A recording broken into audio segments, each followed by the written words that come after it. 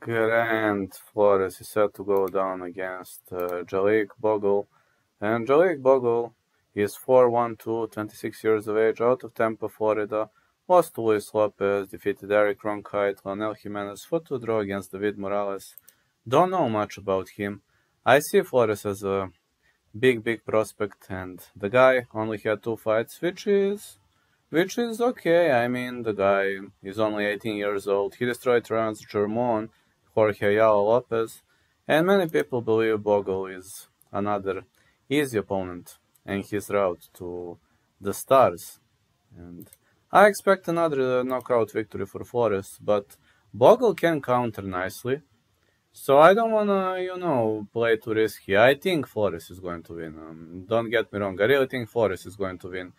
But I would bet the fight not going the distance. Flores is a finisher and uh, Bogle has nice counters, we mustn't underestimate it. So fight not going the distance, side call, Flores.